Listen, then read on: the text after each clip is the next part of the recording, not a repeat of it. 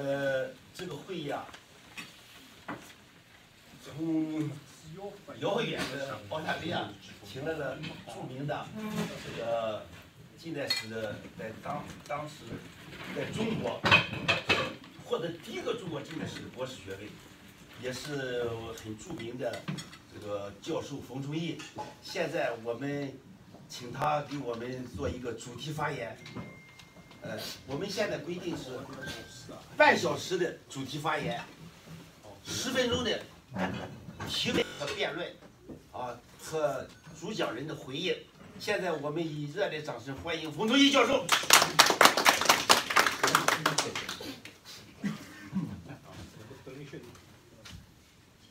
非常感谢苏军兄啊！我一直在讲这个纽约，还有美国。是大兵团，看起是民主运动，中国民主运动力量的大兵团，闯龙卧虎。但是非常感谢给给这个南蛮机会，真的不敢当。我们是我是最标准的南蛮，一个是从在中国我是海南岛，就是圣人不到的地方，在全世界澳大利亚南半球南蛮。这个蛮蛮的我现在的口音就是。我是十八岁才开始讲中国话，十八岁之前一直是在家里头上学，用的全部是海南话，所以这个这个国语一直学不好啊，请诸位包涵啊。其实，在座诸位都是，因为我们这今天来去怀念胡耀邦，胡耀邦都是在座诸位的恩人。就是我们都受胡耀邦的恩，才成为有机会成为现代人。我们在八十年代在思想基本在是八十年代定型，可能有些这些小年轻跟着我们，希望是我们六零后是我们的后裔后代。就是我们在那个时代是我们生命中的黄金时代。真的是中国历史上那么十年，给这个创造了一大批现代的思想英雄。那时候我们也很幸运，特别这位男士，可能可能就只有那十年，真正实现才子佳人的梦想。现在的小伙子们要去找找太太，可能找不到。八十年代之后，那么。知识界那个读书人地位那么高，回去有这个才子佳人的结合，所以很怀念八八十年代。但是作为现代人，我们的概念是中中国一直这个这个社会没有机会大规模的转变成为现代人。西方有个漫长的宗教改革、文艺复兴，这个啊启蒙运动。所以他们是这个人格的一个转变，最核心的地方，现代性最核心的地方，就是他有个性的、个人的自主。后来当然现在总结是这个独立之真精神、自由之思想，这是我们这一代人最幸运的。可是这个我们现在回过头来，我们讲胡耀邦的历史功勋，功勋非常大，但是很可惜，我们最崇拜的这个这个。啊，中共党内的自由派或者民主派的领袖胡耀邦、赵紫阳，都达不到现代人这个资格，所以在座诸位很很很幸运。因为胡耀邦，我如果我们讲他的这个历史功勋，那最大功勋当然是他所发起的真理讨论、真理标准大讨论，冲破思想牢笼，让我们有机会去接受人类的主流文明。从党国意识形态这个一统江湖里头冲出来，所以建立起这个我们这个独立思想，就是我们是思想上跟体制脱钩，从我们的实生活、我们的安身立命一种体制脱钩，所以这是胡耀邦他们最大的一个一个功勋。当然，第二功勋呢，就是你可以讲到他这个平反冤假错案，他就给这个社会。做了一次，在中国历史或人类历史上一一次非常雄伟的政治和解和社会和解，把社会上的这个被受压制的这种力量解放出来，只有后面再出来的个人个体经济、个体户、商品经济，就回到这个人道人性基础上。这么两件事看起来很小，但是它的作用非常大。就是这当时的胡赵他们这批人从里面冲出来，是从里面打破党国集团、党国的集团统治，就是毛泽东时代是人类历史的这个集团主义统治登峰造极。就是不管是从这个这个领袖独裁。到这个啊，党权至上，然后到这个党政军三位一体，然后到这个经济上，对整个这个社会资源、经济资源的全面垄断和这个这个控制，能够彻底剥夺社会个体的独立的根基，在结构上不存在这个根基，所以，但是从八十年代开始。一一一批就是从从社会上，就胡平他们这些我们叫做民主运动的先驱群辈，啊，包括这个啊魏晋生他们，就是这个西南民主乡，后来的这个八零年的这个校园大选举，这个社会上的这个这个冲击，然后在上层有个呼应，就是这个这个，因为在总结文革的这个历史教训，血的教训，所以是。脱离那个集团这个大框架，转向一个后集权。这个后集权就是党国这个政治一元化还维持下来，一党专政没有改变，可是社会经济开始出现有限的多元，就个体自主、个人自由出来，思想文化同样出现有限的多元，就是这个自由民主。思想作为一个现代主流文明的自由民主思想，作为一个思想体系进入了中国，重新对这个整个党国体制从思想文化上进行，就变成一种挑战力量。而这个这种力量，就是到八九年被打残掉。而这个八九，就一九八九，是二十世纪。人类历史的一个分水岭，对中华民族国运很不佳、很不幸。就是一九八九，就是我们现在都都讲这个明年要纪念六四三十周年。就这个六四，八九年的六月，在北京的，我们讲北京之春，和波兰的团结工会圆桌是同步的。紧接下来就是匈牙利打开边界。东德人拐过匈牙利，奔到德国，然后这这个到了到了年底，柏林墙就被击倒了。就柏林柏柏林墙的倒塌，它是一个标志性的一个一个一个一个大事件，就宣布共产主义政权的全球性的崩溃。但最后的这个这个是到一直到九一年，共苏联共产帝国才解体。但是它的这个整个这个天翻地覆的变动是在一九八八九年发生的，可是中国没有过这个坎，没有过这个坎呢？这里头就是我们在讲胡兆的历史功勋之后，要看到胡兆就党内民主派的时代局限，就是一个时代给他的局限。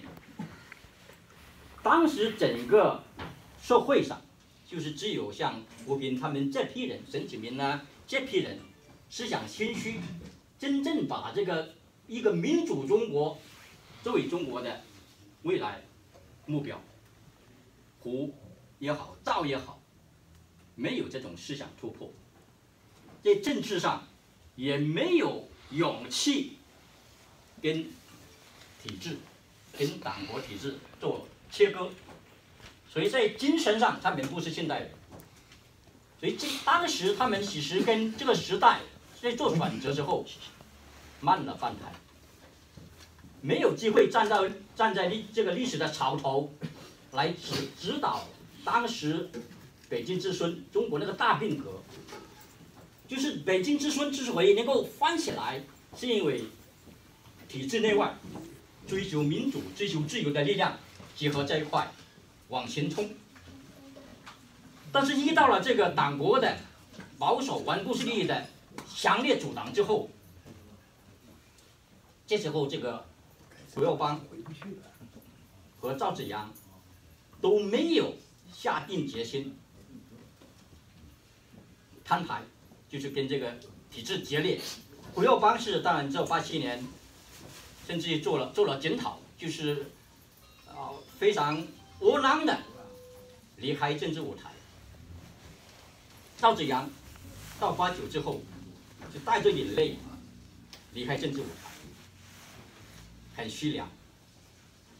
就他们个体的虚凉，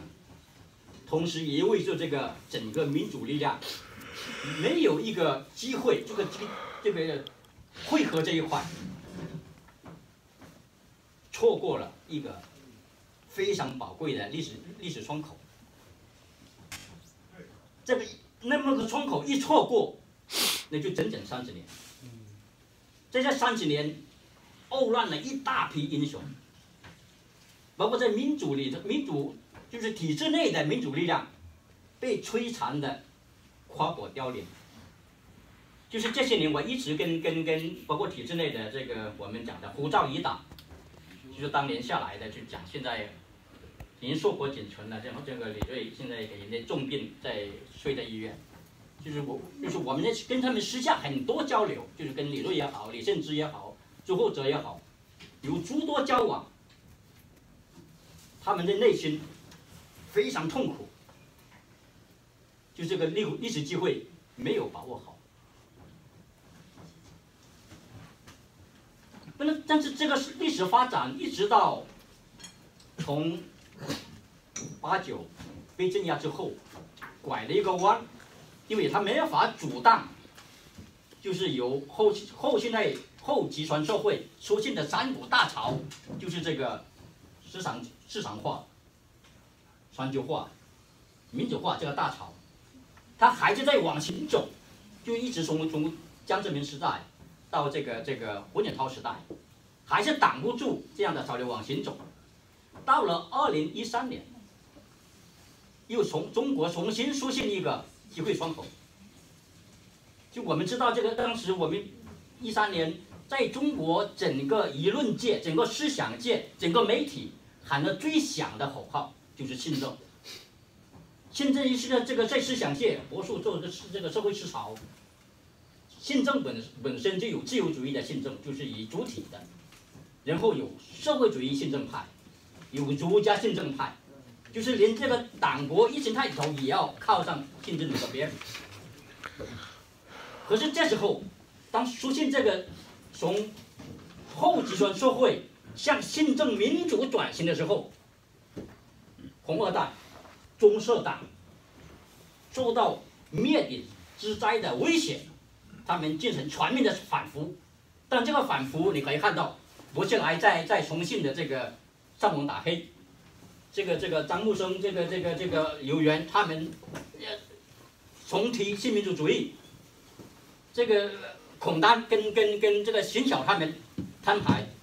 这都是红二代或者中共中社党。反复的一个句句，这这种句句其实到中共十八大，并没有彻底的明朗化。我们都记得当时全世界的都在那里在猜习近平死人这究竟是王右还是王董，很少人想到，他既不往右，也不往左，他往后。也就现在这个题目，是从回合房到到就到习近平，就他之后，他是在二零一三年，习近平的登位，代表着中国社会从后集权社会向集权社会回潮，那代表是一个集权主义回潮的一股力量。没没有机会展开，要真正展开这个这个要要要花很多时间来给他下很多定义，在这对那个政权类型、思想类型做很多做很多。如果有机会在会下或者是讨论之前，我们我可以再展开这个事情。但是我们可以具体讲到一个就是大化之，就是一种落落大观而言，他想重建党国意识形态的一统江湖。要重新统一思想，他想重建经济上重建集团主义六维塔，靠这个国企为核心，加上这个这个权贵资本，要实现对经济的全面的控制。现在是你知道那个小企业主、小业家很艰难，破产很多，就是包括很多的中产。要重新出现意识，这个移民潮都是受到这种这种重新党国对他们的剥夺。然后还有一个更具体的，就刚才刚才苏军中也提到的，就是要重建党政军一体化。我们知道，就是毛是党政军大权在握，就是这一体化的一个领袖。后来接下来是这个一名领袖华国锋。在很短时间的一个过渡，到胡耀邦开始，党政军就彻底分家了。党是胡耀邦的，政治赵子阳的，军队是邓小平的，就是内部的这种这种这种分权分化，就是有有一定程度的这个制衡，给社会创造一定的空间。到了引引引荐到。江泽民的时候，他已经这个党国的力量已经衰退到一定程度，他必须提出三个代表，让向新社会阶层，向这个这个中产阶级做让步，把资本家拉到党内里，党党内了三个代表。为什么这个这个口号口头上提出来就是闷声发大财，这个共产主义。那些乌托邦要在边上去，就是放在喉头上，就是 lip service。到了胡锦涛的时候，当然是九龙治水，就是这个镇压机制，党国，但是是由这个维稳办、由这永康他们来牵头来做。可是胡胡和温两个人，他们向普世价值靠拢。而且胡锦涛是公开提出来不折腾，所以为什么这个这个这个这个柳原和这个张木生要骂他击鼓传花？就他们并不想彻底的收拾公民社会。所以习近平上台这五年，他犯下的最大罪恶，这个滔天大罪，就是全面的摧残公民社会。你再回过头来，就是是当年活跃的那些非政府组织，一个个被他收拾掉。极其活跃的这个互联网，包括各种网络大 V，这些民间的意见领袖，几乎无一漏网被被他收拾掉。所以在这次罪恶滔天，就任何事情都完，就都都不能不能这个去。可以减减轻他这样的一个一个罪恶，就是扭转中国社会的这种这种这种往宪政民主社会转型的这种力量，就是他是代表中国统治集团里头最顽固、最反动的，就跟江晚清一样，中社党这个社会，阻挡历史往前走，要开历史倒车，倒倒行逆施。但是我我我现在要讲这个一个刚才讲一九。八九年这个大的这个大潮，并没有习近平他们搞这个集权主义回潮而改变。就中国整个世界的大局，我们现在是简单的那个线索，就是现在的宪政民主制度，从十七世十七世纪开始登上历史舞台，到十八世纪，整个十八世纪，三到四个民主国家。整个十九世纪过去了，全世界民主国家十个左右，一时多一时少。到了二十世纪的上半叶，那我们中国是最早走进去的，一一一一九二一年，一九一一九一一一九一二年。但是，一直到二战结束，全世界的民主国家也不过是二十个。所以到了现在，全世界一百九十几几个国家里头，一百三十几个是民主国家。所以这个专专制政权已经屈指可数，就那么几个。所以这个从真正的力量对比上讲，中国作为这个专制主义的世界专制主义的大本营，再加上几个几个小兄弟，他们的力量是不足以跟世界的自由民主力量抗衡。但是每一次这个民主这个集权主义或者专制政权发挥时候，都是因为民主世界是问题。这个民主，你知道这个？共产帝国是在一战之后起来的，就就是集权政权这么一种政权模式，或者政权形态，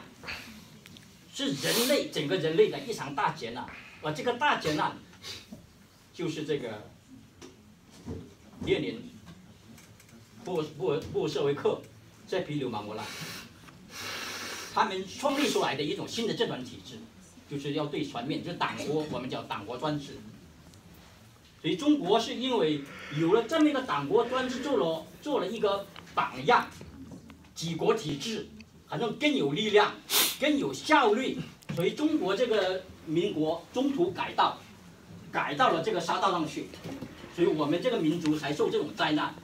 所以我们现在要追求的其实是。中华民族回归新政框架，这个力量，我一直在讲，我一直也跟跟跟跟，特别是跟跟伟东底下讲，一个习近平，十个习近平，一百个习近平，挡不住。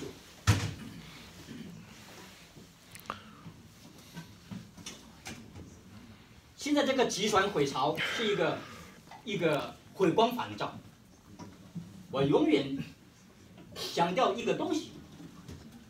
党国没有红三代，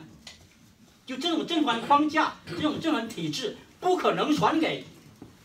薄瓜瓜这个这个行云者，他就接不下去。就是要要有政治常识的党内的人都看到，他是一个死局。他不可能再传下去，所以是觉悟的人会越来越多，体制内外都一样，人心已经改变，中原思路，路就是人心，世道人心已经改变，新的机会窗口会重新出来，我们不知道哪一天出来。而且我我我在心里也做讲座的时候，都会强调一个事：没有人知道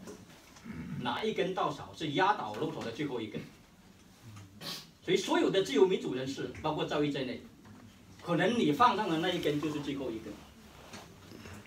有机会就放上去，这样的机会窗口，就是因为这些人的不同追求、不同动作，会引起一个社会互动。这个社会的巨变就会发生，就会成功。但是我们要有这个，应该讲一个亮度，要接纳不同的